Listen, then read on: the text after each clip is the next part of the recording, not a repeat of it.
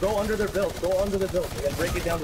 Yo, you suck, you hillbilly four thumb Bo. That's what they call you in school, four thumb Joe. I don't know why. Can I see your thumbs? Did they fall off after playing the controller? Huh? Do you smell like sweat, man? I'll give you my pants right now. That's deodorant for you, brother. Your hands aren't getting any better, man. Your hands and fingers got more six pack than your actual pack right here, man. Arr, you know what I'm saying, man? Come on! Ah!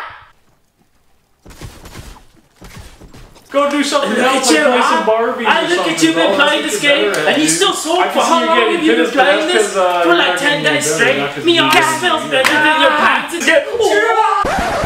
Feeling stressed? Want to punch your friend's neck? I bring you the Punch Ball Desk Set. No need to punch drywall anymore. You can now punch your anger away at home or at work.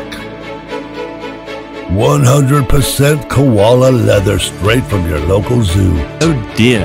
This baby can take shots from haymakers to kicks. Trillions of life forms across the universe have benefited from this product. Let's hear what they have to say. My name's Joturo Kujo. I used to release my anger by punching drywalls. Next thing I knew, I was going around punching strangers. Until I bought this product, and now I can release my anger at home safely. Purchasing the Punchball desk set is the best decision of my life. Wait, marrying me is not your best decision? Honey, we just got married. I bought this Punchball set to prepare for the worst.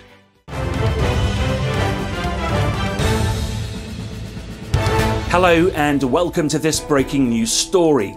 The product known as the Punch Ball Desk Set has reached over a trillion sales this past month. YouTubers worldwide upload their satisfaction online. I just bought this punch ball desk set, and man, I'm completely satisfied with it. Completely satisfied with it. I was walking by the other day, and randomly, this weird construction worker just tries to chase after me and punch me for no reason. For no reason. But now that I've been practicing with this punch ball desk set, I'm gonna knock that stupid beard right off of his face. Stupid beard. Mine's better anyway. I think he was jealous. With just one step of placing that sucker on any surface, you can punch all your problems away. Get yours now, and don't forget to subscribe to Jay Grapes for more content. Because if you don't, I'm gonna tell my mom on you.